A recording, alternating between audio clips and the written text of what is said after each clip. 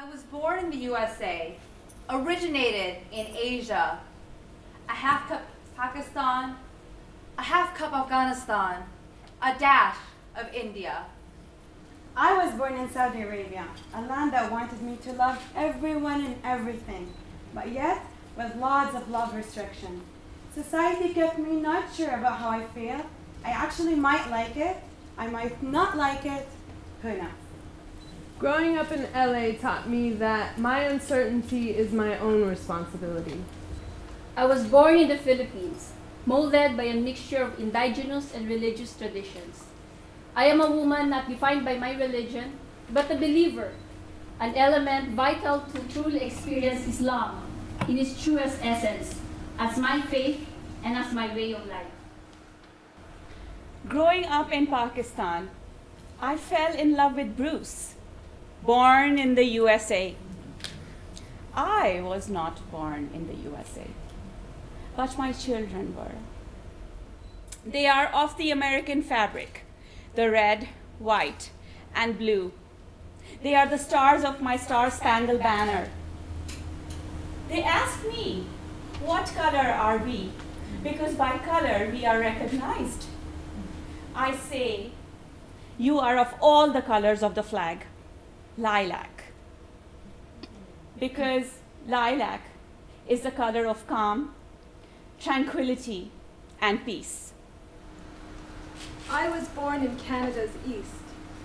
Opportunities for work drew my father westward to the prairies, the Rockies, the Silicon Valley, and the Pacific. North American bred, I found my voice and vocation by catapulting eastward to Cairo.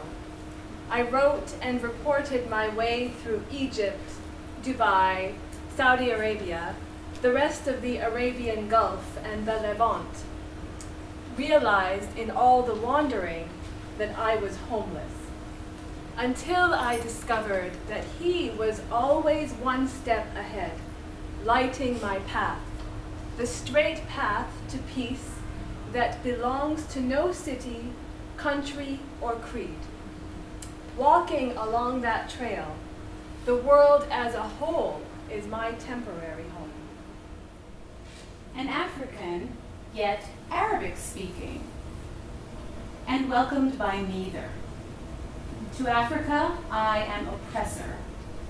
To Arabia, I am inferior. America is where I can be me.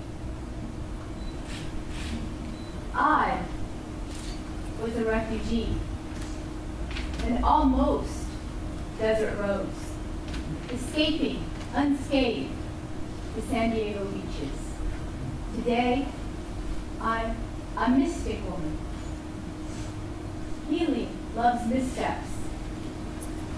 I don't need to say, I love you, America. I am you, America. I'll be 30 this year, and I feel like I'm seeing myself, my religion, and my God for the first time. The possibilities seem endless as I reacquaint myself with all that is new, yet somehow so familiar. I was born in a Zionist and Islamophobic culture. I thought Israel was my birthright. I went to Israel and lived in Palestine and returned a Muslim. I was born in Iran.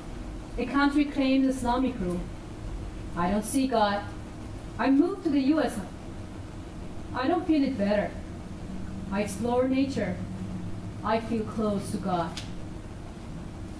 I am born Chinese Japanese in Indonesia with a love of fashion, music, and Harvard Business Review.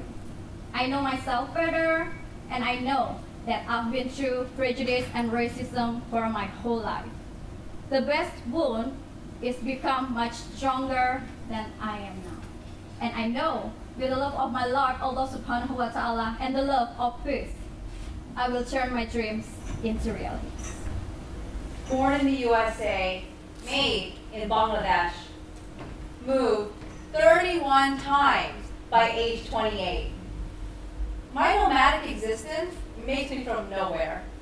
I am from everywhere. Home for me is undefined, but it lies in the hearts of the people I love and the memories I hold dear. In coming together with all the Muslimas, the beautiful ladies here, I am trying to seek myself. Lost somewhere between the country of my parents and here. Their stories like fallen stars over the night sky. I seek myself, and I will find myself. I was born in Iraq. I was born in Saudi Arabia. I was born in Saudi Arabia. I was born in Pakistan. I was born in Iran. I was born in the Philippines. I was born in the USA. I was born in Indonesia. I was born in the USA. I was born in the USA. I was born in Eritrea. I was born in Canada. I was born everywhere. I was born outside of time.